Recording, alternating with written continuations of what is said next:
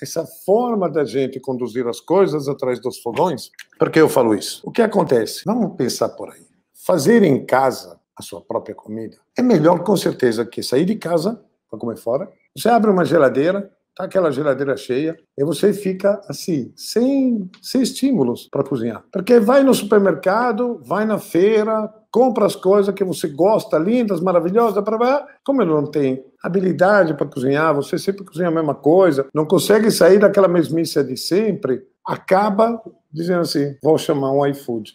E aí vai gastar 50 reais, 40 reais, 30 reais, mais taxa de entrega, mais isso, mais aquilo, para comer uma comida mais ou menos. Quando, se você soubesse realmente como se lidar com meia dúzia de ingredientes, mas aquele meia dúzia de ingredientes chave, você poderia tranquilamente fazer algo infinitamente melhor que com certeza ia agradar toda a família, ou pelo menos se for só para você, você ia ficar extremamente mais feliz. Você está afim de cozinhar melhor, você está afim de economizar dinheiro, você está afim de curtir o que você tem em casa. Você tem equipamentos, você tem um belo fogão, você tem umas boas panelas, você tem uma geladeira sempre cheia, porque vai no supermercado, gosta de umas coisas, compra, depois não sabe como usá-la, e fica aquela coisa se estraga, joga fora. Ou seja, você não tem uma base que ninguém lhe ensinou para você poder levar adiante algo que você começa. Ou seja, você sai de casa para fazer uma compra. E aí depois tem que dar continuidade a isso. Você compra as coisas, aí depois compra aspargo, mas não sei usar aspargo. Aí você vai olhar na internet e aí você vê mil receitas estranhas que nenhuma delas explica realmente como funciona a coisa. Ou vai comprar um cogumelo, pô, cara, que bonitinho, aquele cogumelo champignon, cara, que lindo. Aí você não sabe fazer o cogumelo champignon. Aí você compra uma massa, você não sabe qual é a massa que está comprando. Aí você quer fazer um risoto, mas você porque viu, não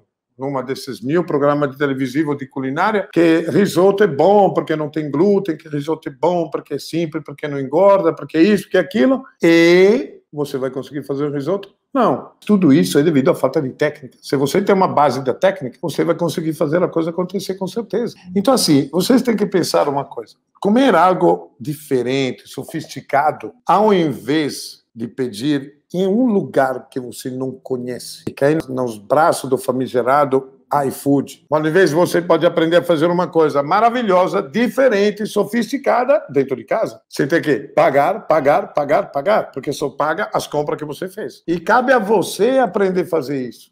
Aprender a cozinhar é simples, é fácil, é uma, terapia, uma coisa maravilhosa. Se você aprende a cozinhar, você consegue comer tudo que você quer com maior facilidade.